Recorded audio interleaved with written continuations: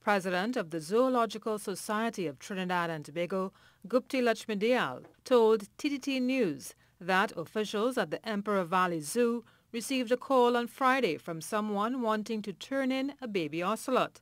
Lutchmedial, who is out of Trinidad attending a disaster management conference, said much to the surprise of curators at the zoo, the animal dropped off at the gate in a protective crate was a young jaguar.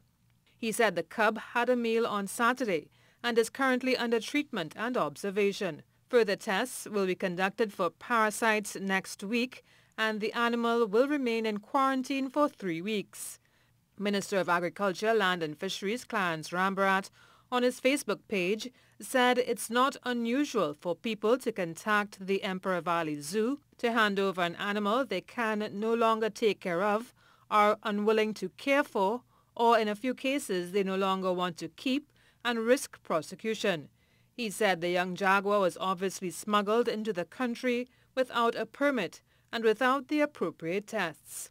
Jaguars are generally considered an animal native to only South America, but can be found in Central America and the southwestern United States.